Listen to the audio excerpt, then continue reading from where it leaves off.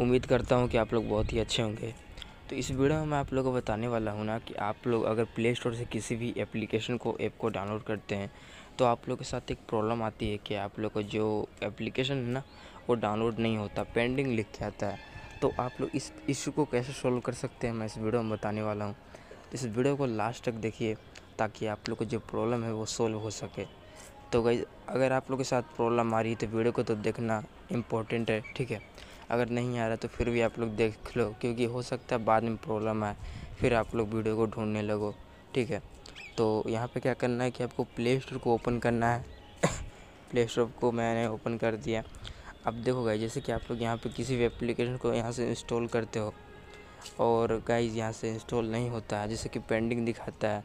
देखो, थोड़ा सा पेंडिंग लिख के आता है, ठीक है? अगर पेंडिंग लिख के आए ना तो आप लोग जो है एक सेटिंग कर सकते हो। अब वो कौन सा सेटिंग है? तो मैं आपको बताता हूँ अभी, ठीक है? सबसे पहले आप लोगों को क्या करना है, मैं आपको अभी बताता हूँ। सो गाइज़ आपको क्या करना है कि आपको प्रोफ़ाइल के बटन पर क्लिक करना है। क्लिक करने के बाद एक ऑप्शन देखने को यहाँ पे मिल जाएगा आपको सेटिंग का। सेटिंग पे क्लिक करना है, उसके बाद एक और ऑप्शन देखने को यहाँ पे मिल जाएगा आपको जनरल का। यहाँ पे क्लिक करना है। क्लिक करने के बाद यहाँ पे आपको आगे क्या करना है? सो गाइज़ उसके बाद आपको नेटवर्क परफॉर्मेंस पर क्लिक करना है। क्लिक करने के बाद यहाँ पे एक ऑप्शन देखने को मिल जाएगा ऐप डाउनलोड परफॉर्मेंस। यहाँ पे क्लिक करना, ओवर नेटवर्क यहाँ पे सेलेक्ट रहेगा। ठीक है? उसके बाद ये नीचे में ऑटो अपडेट ऐप यहाँ पे क्लिक करना और ओवर ओवर यहाँ पे डू नॉट ऑटो अपडेट कर देना, ठीक है? ऐसे यहाँ पे कर देना, नहीं तो ऑटोमेटिक अपडेट होते रहेगा। तो क्या होगा कि आपका एप्लीकेशन जो है डाउनलोड नहीं हो पाएगा। ऑटोमेटिक किसी भी एप्लीकेशन को डाउनलोड करता रहेगा।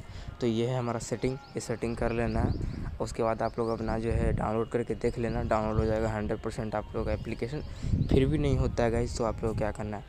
फिर भी नहीं होता है तो गाइज़ इसका भी यहाँ पे सोल्यूशन है मेरे पास। यहाँ पे प्ले स्टोर को यहाँ पे प्रेस करके रखना। उसके बाद यहाँ पे एप्लीकेशन इन्फो पे चले जाना। उसके बाद यहाँ पे फोर्स स्टॉप कर देना एक बार। एक बार फोर्स स्टॉप कर देना। उसके बाद यहाँ पे स्टोरेज पर क्लिक करना। है और उसके बाद यहाँ पे क्लियर डाटा पर क्लिक करके यहाँ पे ओके कर देना। आप लोग का प्रॉब्लम हंड्रेड परसेंट सॉल्व हो जाएगा, ठीक है?